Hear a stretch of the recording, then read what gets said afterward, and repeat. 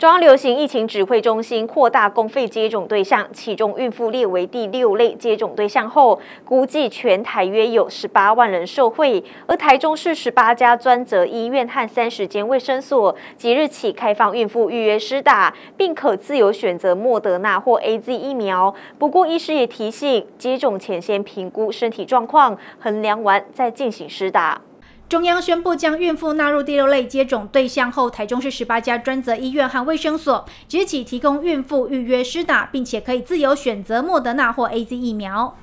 把孕妇她施打这个疫苗，新冠肺炎疫苗的场域，那分布在十八家医疗院所、卫生所以及我们民间的妇产科诊所。哈，我们不会安排这个快打站。大规模的帮孕妇施打不会啊，因为每月孕妇都会有自己的妇产科医生，最了解啊，她这怀胎九月、十月的一个身体变化。那也因此，孕妇要施打疫苗，她的医生要帮她评估，第一个适不适合打，第二个应该打哪一种品牌，因为每个孕妇的体质不一样。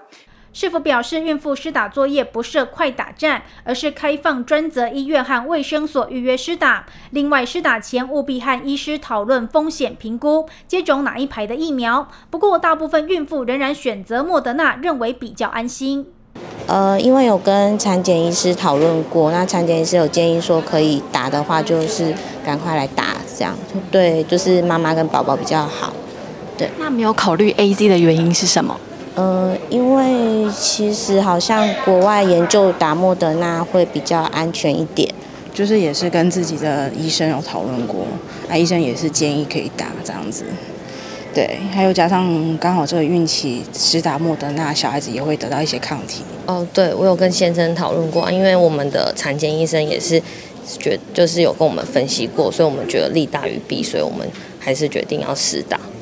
在美国的建议实际上是，不管是辉瑞、莫德纳，或者是他们的江森、江森，他们都是建议可以实打。好，那在啊欧盟的部分，因为他们很多是年纪比较轻的人，他们不建议实打 A G 的，所以变成目前的大家比较的共识是，啊，像所有的疫苗都是利大于弊，这是第一个。第二个是比较优先考虑是 mRNA base，也就是说辉瑞或者是莫达拉可以施打在孕妇身上。